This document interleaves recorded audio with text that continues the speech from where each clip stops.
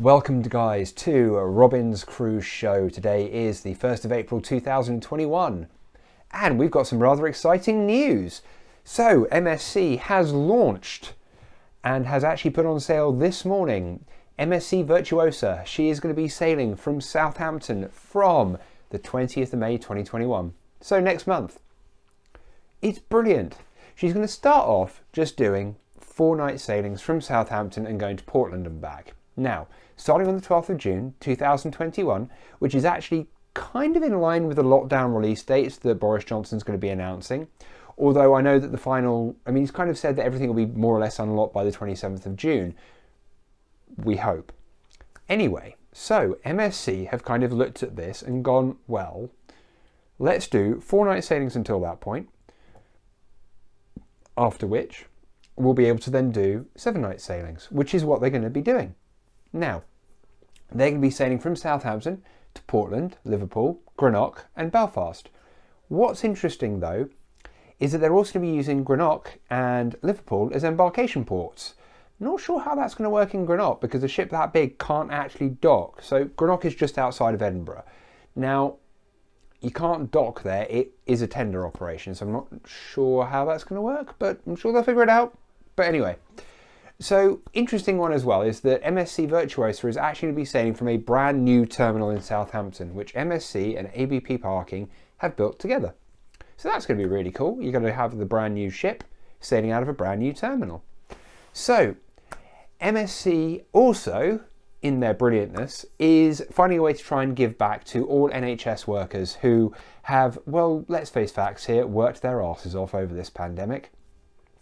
If you work in healthcare within the UK, you can get a 50% discount on any of these sailings. So from the 20th of May and onward with MSC, which I think is brilliant.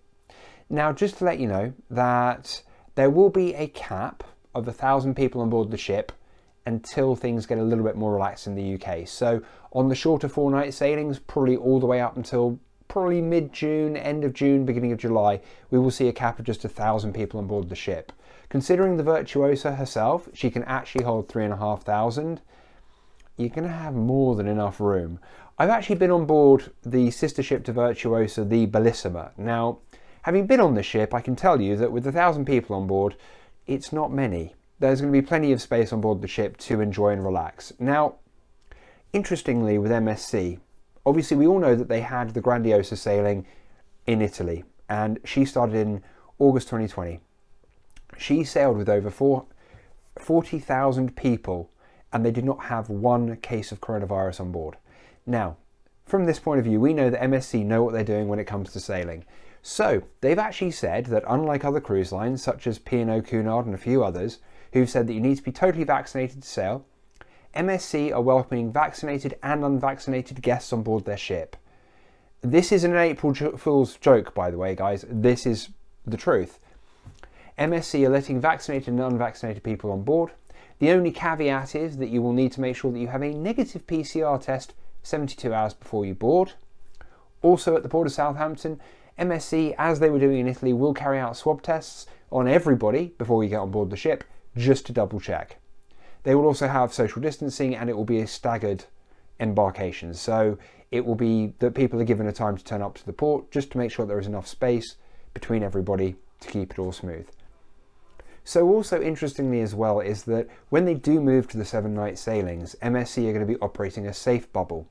Now, you probably sat there thinking, what on earth is a safe bubble or a social bubble? I should probably say, which is more what they term it to be. So what that is, is it means that anybody who is getting off the ship and doing a shore excursion with MSC, they're going to have to do a shore excursion with MSC. There's going to be no choice in this. If you want to go into a port of call, I mean, it's all UK ports, but still, you are going to have to do an MSC shore excursion in order to get off. The reason behind that is that they will have COVID safe shore excursions, which will have been vetted ahead of time by MSC. They were doing this when they were in Italy and sailing in the Med. No one can deviate from this. As we saw last year, there was a family who thought they knew better and deviated and left the group, and they were denied boarding upon returning to the ship because they broke the safe bubble. The same is going to be true on these sailings. Anyway, guys, it's brilliant news. We're getting a brand new MSC ship. How cool is that?